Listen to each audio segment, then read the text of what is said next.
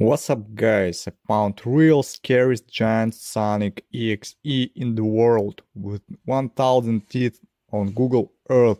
That's so scary. Watch the video until the end. I've pinned coordinates in comments. Check it out. Okay, let's go.